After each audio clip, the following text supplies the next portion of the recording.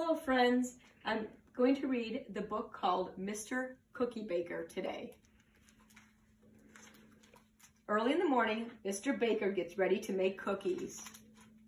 He gets the sugar, the milk, the flour, and the butter out. He counts and measures the ingredients from his recipes. He puts it all in this bowl.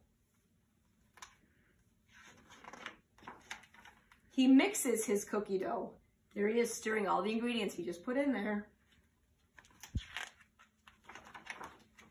Then he rolls out the dough and cuts out shapes with cookie cutters. There's a rolling pin. He's flattening out the dough. Then he's going to take these cookie cutters and make beautiful cookies with them.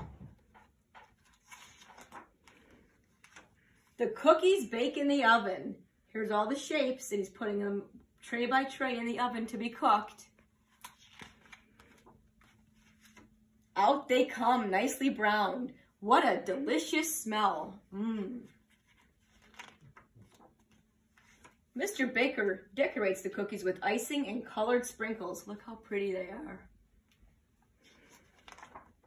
Now he is ready for customers. Here comes the hungry children. Here they all come to get those cookies, those pretty cookies he made.